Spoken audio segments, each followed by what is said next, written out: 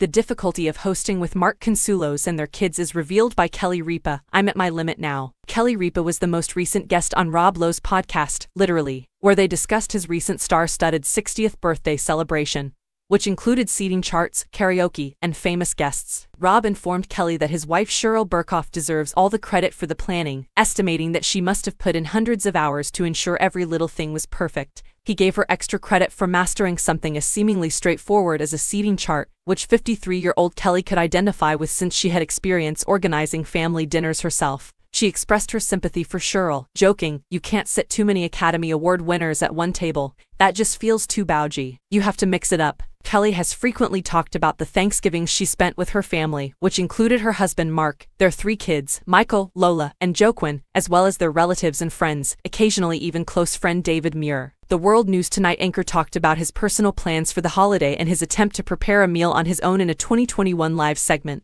He began, We are a smaller group coming for Thanksgiving this year, and I'm going to cook, before continuing, but Kelly has offered to be the backup plan.